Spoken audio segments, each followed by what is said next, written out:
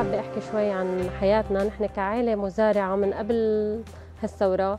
آه، نحن عندنا كان مزارع وأراضي زراعية ونهتم بالدواجن كثير فهو مصدر رزقنا يعني.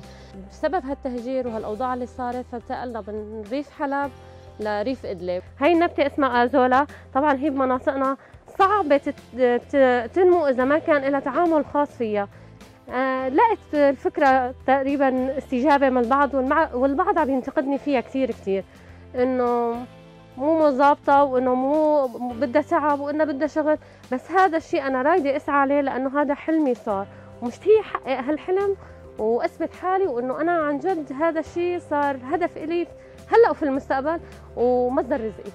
هلأ هي بت أول شيء بتعطي مصدر بروتين عالي بال بالعلف آه، كان للدواجن للأبقار للأسماك. آه، بإمكانك تستعيض عن الصويا تماما. أنت لما بتعرف تربي هاي النبتة وتتعامل فيها يعني تاخذ كم شيء قبضه اليد بإمكانك تنمي منها مزارع كثيرة.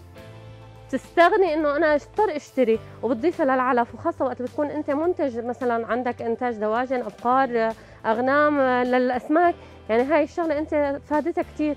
وهي معنى كلمة علف مجاني. بتمنى الاقي حدا يساعدني يقدم لي مثلا دعم يقدم لي مساعدة أي شيء كانت حتى أقدر أستمر لأنه أنا بحاجة استشارات مثلا من مهندسين من حدا ينظم لي درجات حرارة رطوبة يعلمني على ميزان حرارة كيف قيس رطوبة مثلا الغرفة اللي عندي.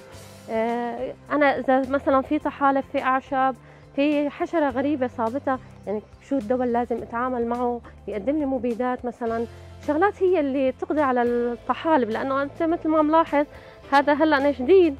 بس لحد الآن نظامي بس إذا بدنا نروح على أول وحدة اللي زرعناها أول شيء لاحقها تحلب وفي أعشاب غريبة بيناتها بدي شيء مبيد حش يعني عشبي يقضي عليها بحيث ما تتأثر هي كنبتة أزولا.